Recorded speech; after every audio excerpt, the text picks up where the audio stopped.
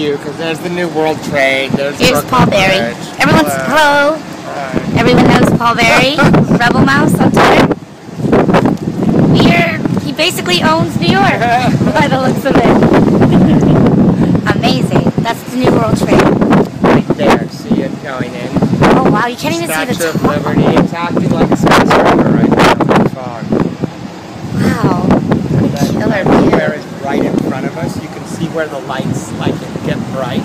Is Times Square. Oh wow. That's amazing. And there's Tribeca and Soho in East Village. Beautiful. Right over there.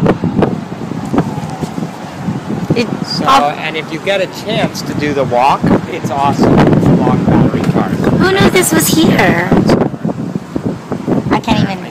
I'm so short, I can't even look over. I like how you're like, apparently not scared of heights. Plus, I almost lost my iPhone there. it's like, let's just, let's just go ahead and th- toss it over. All right. Hi, hi, Socialcam. Bye.